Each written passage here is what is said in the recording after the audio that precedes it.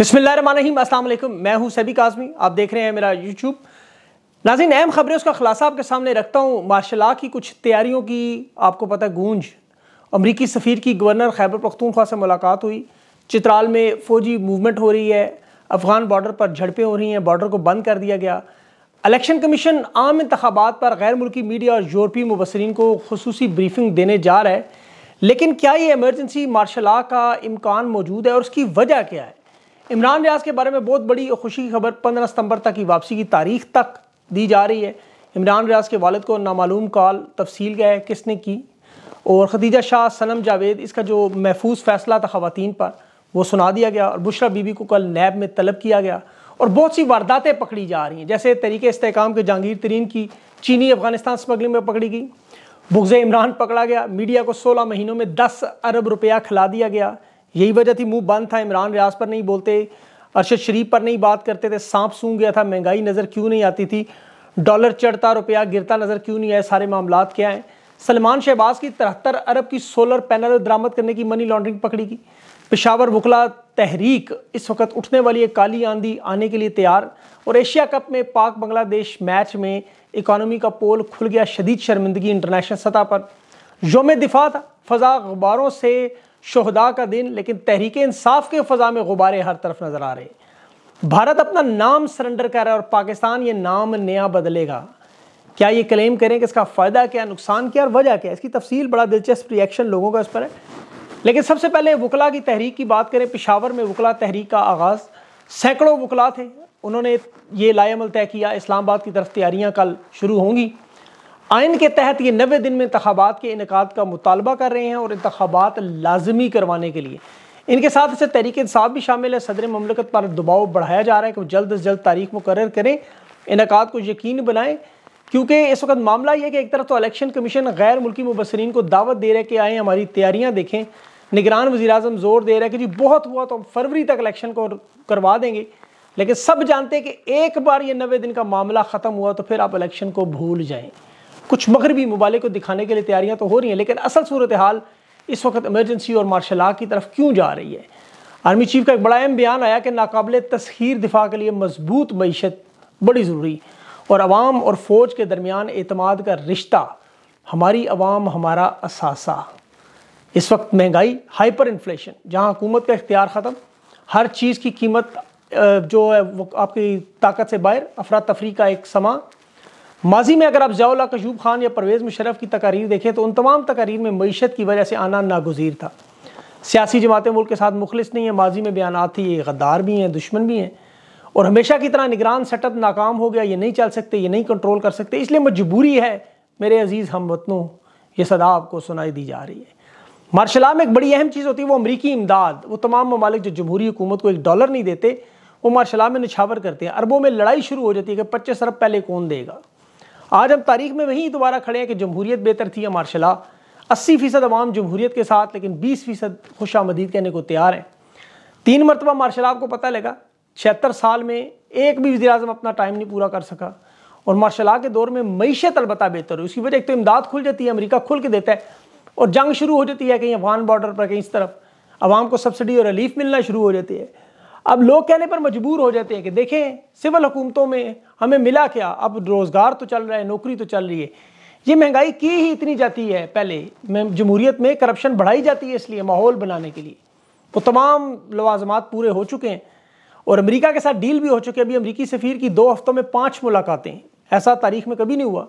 Governor Khyber Pakhtunkhwa से मुलाकात, Maryam Nawaz I G Punjab, chief election commissioner Mohsin Naqvi ताकतवर हलकों से। और फिर ये मुलाकातें तो सरेआम हो रही हैं, सारी दुनिया देख रही है।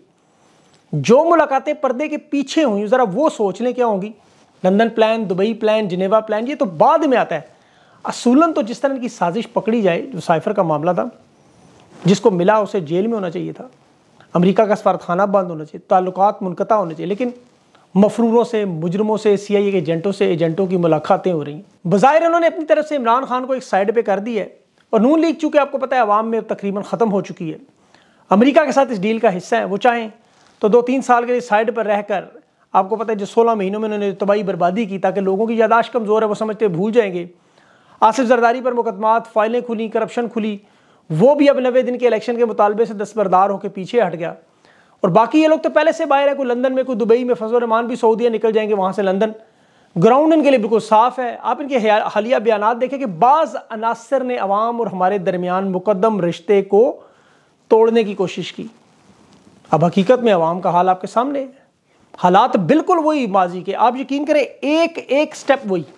जो माजी में सुनते थे, भुट्टो को जला वतन कर दो अब इमरान खान को कर दो। मुल्क की सलामती खतरे में आज भी खतरे में। सियासी जमातें गद्दार हैं, यहूदी एजेंट हैं, सरहदों पर सूरत हाल ख़तरनाक है, तशवीशनाक है कालदम जमातें हैं इस वक्त। चित्राल में बाकायदा हमले कर रही हैं। चार सौ लोगों ने हमला किया। इन्होंने कहा, हमने धकेल दिया। वो कहते हैं, हम अंदर दाखिल हो गए। पता नहीं अब कौन सच कह रहे स्क्रिप्ट वही बॉर्डर पर, तुरखम पर फायरिंग हो रही है, बॉर्डर बंद है। सियासी जमातों की करप्शन बेनकाब हो रही है। नून लीग की भी करप्शन पकड़ी गई। तिहत्तर अरब रुपए की मनी लॉन्ड्रिंग सोलर पैनल दरामद करने में। और ये देखें, तहकीकात जब होंगी तो ज़ाहिर है ये सलमान शहबाज की कंपनी निकल आएगी वो पाकिस्तान आया इसलिए थे, यहाँ से अपना माल लेकर अब कंपनी बंद करके ताला मार के गायब। तिहत्तर अरब डाल दी जाएँगे इकॉनमी में, कुछ अर्सा बेहतर होगा काम। इसी तरह तरीके इंतकाम जो बनाई, उसके सरबराह जहांगीर तरीन की शुगर मिल में जे डी डब्ल्यू चीनी, अफ़गानिस्तान स्मगलिंग पकड़ी गई वजारत दाखिला ने गाड़ियाँ और चीनी, सब कुछ दिखा भी दिया। मीडिया में भी सोलह, दस अरब की करप्शन पकड़ी गई नौ इसमें नौ अरब मेन स्ट्रीम को और एक अरब डिजिटल मीडिया यानी सोशल मीडिया के जो लोग। सेनेट की कमेटी के सामने आया सारा मामला। ये इमरान खान की महँगाई के खिलाफ नहीं बोलते थे, अरशद शरीफ के केस पर इसीलिए नहीं बोलते थे। इमरान रियाज को फॉलो नहीं करते थे, इसीलिए। और इमरान खान के खिलाफ खुलकर कैंपेन चलती थी। वजारत इतलात जो थी मरीम नवाज़ और मरीम औरंगज़ेब, फूलों की बारिश। खाता है तो लगाता है। जो दस अरब मीडिया को मिले, उसमें पाँच अरब तो शायद इन्होंने तोशा खाना की, जो पाँच करोड़ की घड़ी इमरान खान की बनाने में प्रोपागेंडा था, उसमें ही लगा दिया होगा। ये वाकई हीरा मंडी से काम नहीं है। ना कोई बिज़नेस मॉडल ना कोई तरीका कार ना काम करने वाले, ना टैलेंटेड लोग, दिहाड़ीदार बैठे हुए ब्लैकमेलिंग कर रहे हैं। छोटे रिपोर्टर्स की तनख्वाहें मार के सेठ अमीर हो जाते हैं। रेटिंग का ये हाल, ना कोई खबर, ना कोई प्रोग्राम। स्वाय प्रॉपर्टी डीलर के इश्तहारों के अलावा इनके पास कुछ भी नहीं बेचने बहरहाल, आगे चलते। मार्शला की आपको पता निशानियों में एक और बड़ी अहम निशानी। जब तमाम सियासी जमातों को एक डंडे से हाँका जाए तो समझ लें कि मार्शला आ रहा है। जब अमनो अमान की सूरत हाल बदतर होना शुरू हो जाए, जो हो रही है तो समझे मार्शल आ रहा है। मीशत तो खैर हमेशा से आपको पता है, इनकी फेवरेट। है अदलिया की बात करें तो अदालतें इनके कंट्रोल में, फैसले इनके पास। अभी वो खदीजा शाह का केस आलिया हमजा और सनम वगैरह का। सतानवे मजीद अफराद, दो रुकनी बेंच ने सुना जज नीलम और जस्टिस जावेद साहिबा ने हुकूमत पंजाब ने दो नई दफात शामिल करने की दरख्वास्त की मंजूर होगी। ये अब दो नई दफात ज़मानत के लिए दोबारा उन्होंने ट्रायल कोर्ट के पास भेज दी स्पेशल प्रोसिक्यूटर कौन था? फरहाद शाह, जो अभी नवाशी से मिल के आया। उसने कहा, जी, मुखालफत भी की और साथ ही भी का रिमांड पर है, तफ्तीश हो रही है। चार महीने हो गए अभी तक चलान भी नहीं पेश हुआ और बेगुनाह लोग वैसे ही जेल में बैठे हुए हैं। एक अच्छा फैसला बहरहाल इस्लामाबाद हाई कोर्ट ने किया शहरियार अफरीदी और शंदाना गुलजार के बारे में कि उन्हें भी का फ़िलहाल किसी केस में गिरफ़्तार ना करें, आइंदा समात तक। बहरहाल आइंदा समात कब है? दूसरी तरफ़ नैब ने बुशरा बीबी को दोबारा बुला लिया। तहाइफ की कीमत का शफाफ तखमीना नहीं आपने लगाया। हालाँकि इमरान खान बता चुके हैं कि तमाम अशिया का तखमीना मिलिट्री सेक्रेटरी लगाते रहे, लेकिन अब ज़ाहिर उन्हें तो गवाह बुलाएँगे नहीं। केस वही सारे झूठे। अब उधर इमरान खान के साथ जिस तरह ज़्यादा अटक में रात आप बता रहे थे हवा से बैरक की। छत उड़ गई टीन की। सबक वजी अजम के साथ ऐसा सलूक, सिर्फ़ इसलिए रात को इमरान खान को सोने ना दें।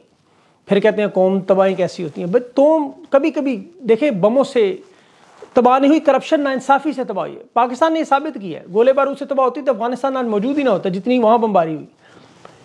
आज दिन है छः सितंबर का, आपको याद होगा, कमांडो वर्दी पहन के बच्चे गलियों में फिरते थे। हमें इन चक्करों में डाल दिया, खुद डी एच ए में अरबों बना गए हम लोग बालों की कटिंगों के चक्कर में पड़े रहे, यहाँ इनके बावन प्रोजेक्ट बन गए। अभी वो आसिम चौधरी साहब ने बड़ा अच्छा लिखा, पैंसठ की जंग में सिविलियन ने आगे बढ़कर अपनी जाने, हथेली पर रख के सारा मामला किया। लेकिन जिस तरह वो अब्टाबाद में डोली के वक्त बच्चों की जान बचाने वाले सिविलियन गायब, इसी तरह ना इनका मुताल पाकिस्तान में ज़िक्र, ना इनका कहीं और ज़िक्र। दिन बहरहाल चले शहदा का है। अब तो ज़रात के साथ मनशियात की रोकथाम स्मगलिंग चीनी, आटा, सब चीज़ों पर छा गए। अवाम ने बहरहाल आज तहरीक इंसाफ के गुबारों से आसमान भर दिया उन्होंने भी फिर शहीदों को, आपको बताया खराज अकीदत दी क्योंकि ये इकहत्तर साल बुज़ुर्ग को अजियत दे रहे वो मुस्करा रहा है आगे से, और डूबती मीशत इन पर मुस्करा रही है।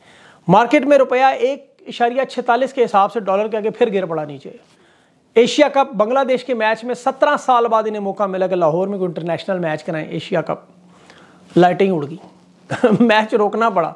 और ये हिंदुस्तान से अब नाम लेने जा रहे हैं। अब हिंदुस्तान के पूरा दो नाम है हिंदुस्तान के इंडिया और भारत। अब वो दोनों नाम इस्तेमाल करते हैं ऑफिशियली अब वो इंडिया का नाम छोड़ने पर गौर करें। साउथ एशिया इंडेक्स ने खबर भी लगाई कि पाकिस्तान ये नाम लेने का दावा कर सकता है, क्योंकि हमारे इंडस रीजन है। उस रीजन की बुनियाद पर नीचे जो मज़ाक बना, कि भी इन्हें तो भीख मांगने आ रहा है, नाम भी भीख में ले रहे हैं। अब उन्होंने किसी ने कहा, बांग्लादेश भी फिर पाकिस्तान का नाम ले लेगा। चलो अच्छा इस तरह हमें पाकिस्तान, इंडिया मिक्स हो जाएगा।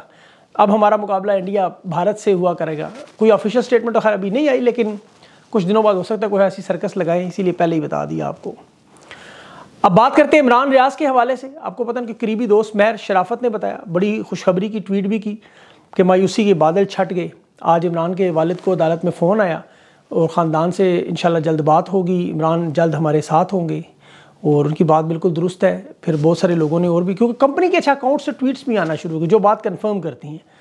कि जी, अभी इमरान रियाज अपने घर वालों के साथ, अभी एक खातून कंपनी की आपको पता बड़ी नुमाइंदा है, तर्जमान है। उसने बाकायदा तौर पर लिखा कि जल्द ही एक सहाफ़ी यूट्यूबर वापस आके बता रहा होगा, मेरे चेहरे पर मास्क था, मुझे कब्र में रखा गया। मुझे कहते थे, बोलना नहीं, जुल्म के पहाड़ तोड़े। फिर एक अनजान जगह पर फेंक के चले गए। कुछ लोगों से मिला फ़ोन मिला, वालिद को किया और वो लेने आ गए। लफ्स ब उसने कंपनी का मंसूबा बता दिया।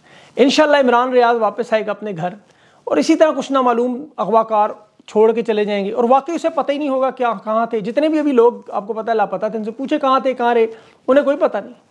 कौन लेकर आया, कहाँ से लेके आया, कहाँ से छोड़ के गया, किसी को पता नहीं, मुँह पे मास्क होता है। लेकिन ये एक ऐसा राज है जो मज़े की बात है, पूरे पाकिस्तान को पता है कि ना मालूम कौन है। अब ये सूरत हाल यह कि इमरान के लिए तो उसकी फैमिली के लिए, उसके दोस्तों के लिए, हम सब के लिए सबसे पहली प्रायोरिटी तो ज़ाहिर इमरान है। इमरान रियाज बाहर आए, सेहतमंद हो ठीक ठाक खरीत से आए। ये बात के मामला चलते रहेंगे। इस तरह की गिरफ्त माजी में भी आपको पता है बहुत सारी वारदातें की हैं इन्होंने। अल्लाह ताला उसको बस महफूज रखे, अच्छी खुशी की खबर है। तीन महीनों से उसके घर वालों पर जो अजाब है वो सब जानते हैं। लेकिन इसके साथ साथ बहुत सारे लोगों के चेहरों से नकाब भी उतर गया। बहुत सारे लोग जो इमरान के साथ जुड़े थे, वो नहीं रहे। और जो लोग खड़े रहे, बहुत सारे लोगों का ये भी पता चला कि वो इनसाइडर भी थे इसमें। अंदरूनी सतह पे काम करते रहे। लेकिन ये आपको पता है, मीर जाफ़र, मीर सादक हर दौर में हर जगह मिलते रहे और मिलते रहेंगे आगे भी। अभी जो हालात मैंने आपके सामने रखे, अल्लाह करे इसमें से बहुत सी चीज़ें गलत हों, ऐसा ना हो इलेक्शन हो। अल्लाह करे इमरान खान को जल्द अज जल्द रिहा किया जाए।